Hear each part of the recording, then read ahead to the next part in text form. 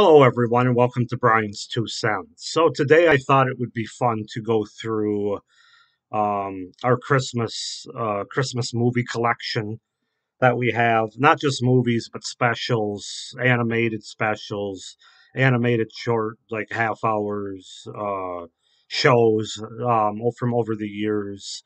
Um, just a whole collection of Christmas uh, Christmas movies, shows, specials. So that's what we're gonna do. Uh, I probably have about 25 of them. So let's just go ahead and not waste any time and get started here. So, first up, classic movie from the 80s. We have Gremlins. I have the special edition here version with all kinds of commentaries behind the scene things. So yeah, everybody knows Gremlins. This is uh, everybody loves that character. Not so much these characters, um, but Gremlins just a really fun movie with a lot of great Christmas atmosphere.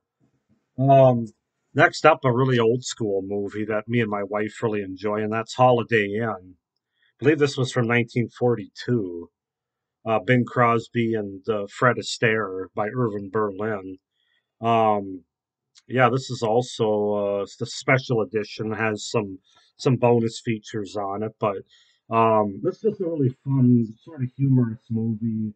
Um, there is one part of this movie that my wife and I cringe at every time we watch it that we kind of wished was not there, but it is, and it was made in 1942. So, um, but other than that, we really enjoyed this movie. Very fun, um, enjoyable old school movie. Uh, next up, we have one that's become a classic over the last 10 or 15 years. And that, of course, is the Polar Express. My five year old son loves it. My wife and I love it. We were watching it long before he uh, came into the picture. This is just, um, whether you're young or old, this is a movie that just really gets you in the feels in a lot of ways. It kind of reminds you of, of uh, you know, believing is what this movie's all about. And and not everything you know it's not always about what you seeing's not always believing basically and uh, you got to have faith so yeah it's just tom hanks does a masterful job with this movie playing so many different characters it looks fantastic. The polar express an absolute christmas classic. Um next up we got uh this is a, show I grew up on, a Christmas special, and that, of course, is Dr. Seuss's How the Grinch Stole Christmas, the animated one from 1965 or 66, I believe. Boris Karloff uh, voicing the Grinch and uh, the, is also the narrator. Um, this is a deluxe edition, so it also has some special features on it. This year, I would say this is my my son's favorite one. He's watched this about eight times so far and we're not even halfway through the month. But uh, yeah, he's really come to like this movie this year. Um, but yeah, I mean, what can you say? I grew up on it, watched it my whole life, so it's just a really great thirty-minute special. Um, just a really good Christmas uh, special. Um, next up, we have this. Um, we have this pack of all kinds of Christmas specials. So the original Christmas classics, limited keepsake edition, seven holiday favorites. So you got Rudolph, you got Frost, you got Santa Claus is coming to town. Those are the big three, and then Little Drummer Boy, Mr. Magoo's Christmas Carol, Cricket on the Hearth, and Frosty Returns.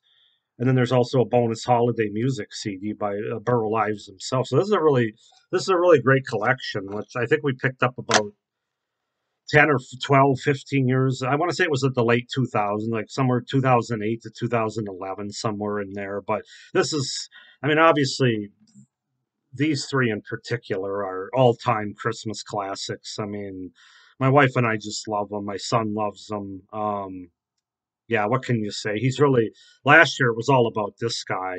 This year, like I said, it's more about the Grinch with him, but he still really likes Frosty, of course. So that's a great collection to have. Because I'm sure it's not available anymore. Another uh, Christmas special, of course, you got to have a Charlie Brown Christmas. This is the remastered deluxe edition here.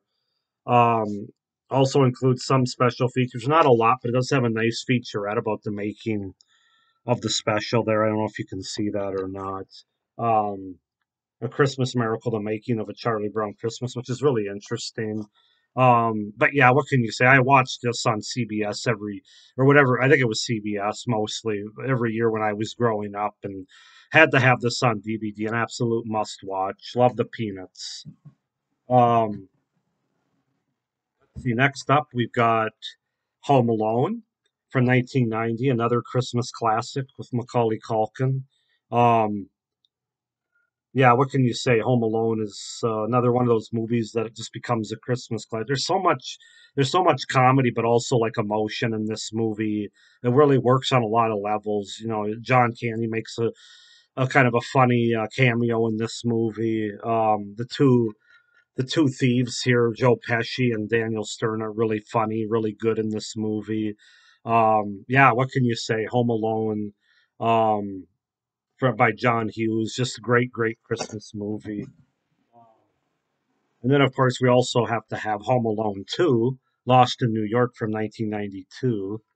Um, yeah, this is a this is a really good one too. I do myself. I do prefer the original a little bit more because it has a little bit more of that that cozy, homey sort of comfort uh, movie, Christmas movie. This is this is obviously bigger sets and probably a bigger budget. It takes place in New York. It's still really good. Still has a lot of the same actors, obviously, as the first movie does. These are the only two we have. These are the only the two we want. Uh, I know there's a three and a four, and there might even be a five coming out. I don't even know. I don't. But he, he's not in any of those. This is the last one that he was in because of his age and, and stuff. And uh, but um, and he probably just didn't want to do them he probably read the scripts and like, yeah, no, I'm out. So I'm not really sure, but yeah, this is also a great Christmas movie as well. The the first two Home Alones are classic.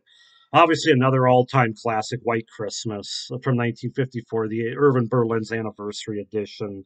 What can you say about White Christmas? It's been done by it's you know, it's been on TV, it's been made into plays, to theater productions, which we've all, me and my wife have also seen musicals. It's just a fantastic movie. Danny Kaye and Bing Crosby have great chemistry in this movie, and then you throw in Rosemary Clooney and um, Vera Ellen. It just, just those four just have great chemistry. They're enough alone for this movie to be great, and then you get the setting up in Vermont and everything.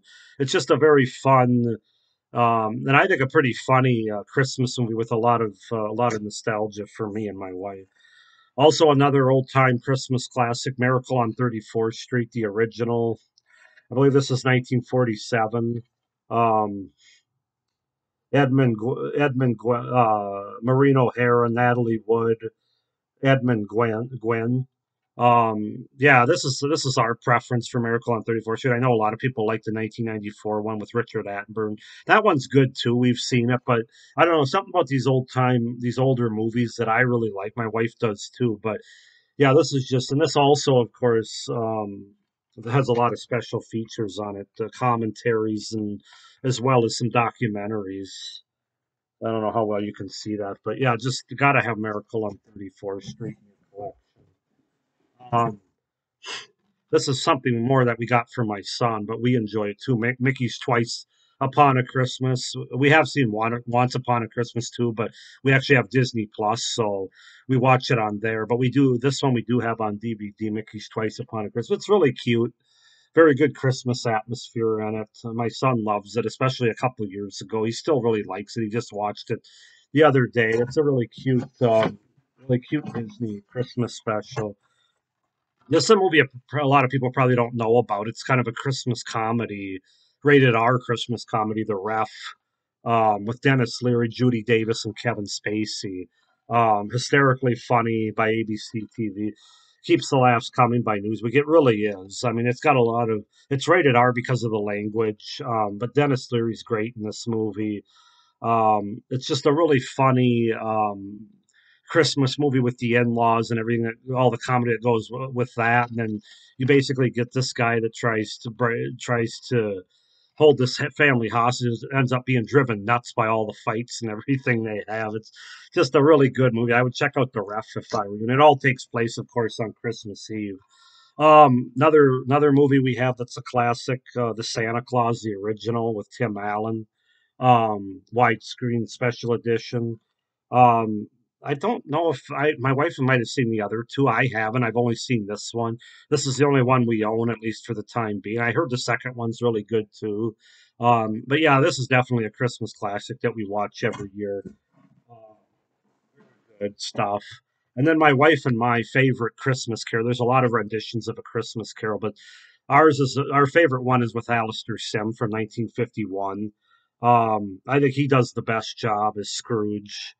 Um, him, and then I next I would probably go with um, oh, why can't I think of his name now? Um, George C. Scott from the 1984 version. I really like that one. I got to get that on DVD. We don't have that one yet, but this one is a really good rendition. It's obviously in black and white. It's from the early 50s, but Alastair Sim just does an amazing job. It's one of the great performances. Um, not just as Scrooge, but one of the great performances in cinema. This also has some special bonus features on it. So yeah, just a, obviously a classic. Another classic, of course, It's a Wonderful Life from 1946 with Jimmy Stewart and Donna Reed, Frank Capra's. We have the two disc collector set. Um, it has both the black and white and the colored version. We prefer the black and white version. The colored version just doesn't feel or look right to us. Um, you can just kind of tell that it wasn't actually made in color. The black and white version, I guess, just feels more authentic to us. Um, like if you kind of look at these, you can't really see it too well, but just looking at that compared to that, this just kind of looks uh, like they just zapped color and it really didn't. I don't know. It's hard to explain, but uh, this has got a lot of unforgettable special features as well. The making of It's a Wonderful Life, a personal remembrance, a couple of great documentaries that I have watched. Everybody knows It's a Wonderful Life, one of the great feelsy movies of all time. And then, of course, a more much more recent movie we have is Elf. Uh, my son was pretty much obsessed with the book for the last few years on this, and we really enjoy the movie as well. Um, Will Ferrell and James Caan in this movie. Um, yeah, what can you say? Everybody knows Elf. It's just another great Christmas, uh, you know, Christmas humor, Christmas comedy movie is what I'm trying to say. Um, as we continue, still got more to go here. One of my wife's favorite movies growing up, and it's grown on me as well, and that's Prancer from 1989 with Sam Elliott, Cloris Leachman, and Abe Vigoda. Um, this is also another really just great Christmas atmosphere kind of movie. Good performances. We're big fans of Sam Elliott. Um, and it just kind of leaves you um, just kind of a magical Christmas movie. It kind of like the end of this movie is really feels really magical and just kind of leaves you with a good good feeling. So yeah, if you haven't seen Prancer, definitely check this one out. It's a very good movie from the late '80s. And then I just have this is just the the Christmas with the Simpsons. It's got four or five different episodes um, from the show. Simpsons Roasting on an Open Fire, which is the the first show ever made for The Simpsons on its own. Mr. Plow, Miracle on Evergreen Terrace, Gift of the Magi, and She of Little Faith. So, um, what's funny is I have most of these with my box or with my um, my seasonal box sets. So I think I kind of got this just I was part of um, some other DVDs that I ordered online and, and ended up coming with it. So it's kind of like okay, whatever. Um, another one I grew up on are the Garfield the holiday celebrations. Now, obviously, for this, I'm talking about the Christmas one, um, a Garfield Christmas. This is another one I grew up with. The other two are really good too. I really like the Halloween special and the Thanksgiving one is good, but to me, the Christmas one is definitely the best. I've always been a big fan of Garfield. Grew up with them in the '80s and through the '90s. Um, and the Christmas one is just very funny it was an every year watch for me and my brothers growing up in the 80s and all the way through the 90s, basically. Another Christmas special. Um, another version of a Christmas Carol, and this, of course, is Mickey's Christmas Carol. Um, it's also got some other some other animated shorts with Mickey and the Disney, like Yodelberg and some other things before you get to the actual Christmas Carol with um, Scrooge McDuck here. And uh, yeah, this is just a great, uh, really cute Disney uh, rendition of a Christmas Carol. Um, that another one I grew up with again. I remember it being on TV and um, must watch every year. And then another, yet another rendition that I really liked, the Muppet Christmas Carol from 1992, I believe. Um, again, I grew up, you're going to hear this a lot, but we grew up with the Muppets. It's just a generation that we grew up with. So this is my favorite Muppet movie out of all of them. Some of the other ones are good. The original Muppet movie, the Muppets Take Manhattan, the, the Great Muppet Caper, those are all good. Even even Treasure Island to a certain extent. Um, but this is our favorite. It's definitely my favorite. It just it's just so fun and so there's a lot of comedy to it and also a lot of heart. Great songs. And Michael Caine as Scrooge does a great job as well. He's probably my third favorite actually of playing Scrooge after Alastair Sim and George C. Scott. So Muppet Christmas Carol. Then I got a movie that I've never heard anybody else talk about.